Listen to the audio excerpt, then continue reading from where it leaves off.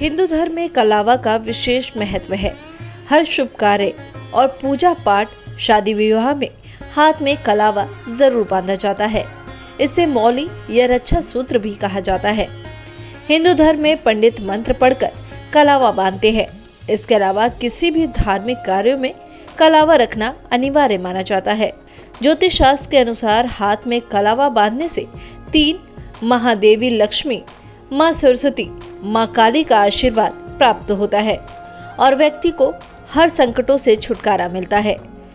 कलावा सबसे शुभ माना जाता है, इसलिए इसे हाथ में बांधने के कुछ नियम हैं। वहीं इस वीडियो में हम आपको बताएँगे कि शादीशुदा महिलाओं को किस हाथ में कलावा बांधना चाहिए और इसके क्या नियम हैं। दरअसल कुंवारी कन्याओं और पुरुषों को हमेशा दाहिने, यानी कि राइट हैंड में कलावा बांधना चाहिए। वहीं विवाहित महिलाओं को बाएँ, यानी कि लेफ़्ट हाथ में कलावा बांधना शुभ माना जाता है।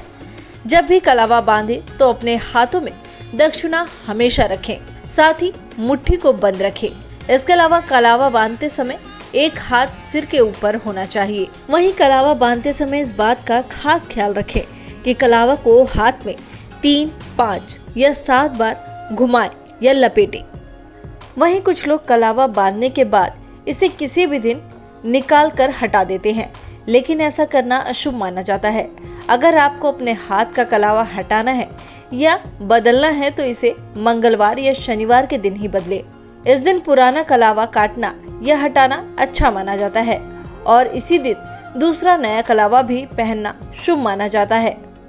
वहीं कुछ लोग पुराने कलावे को हटाकर इधर उधर फेंक देते हैं, लेकिन ऐसा करना अच्छा नहीं माना जाता। पुराने हो चुके कलावे को हमेशा नदी में बहा दें या फिर पीपल के पेड़ के नीचे रख देना चाहिए।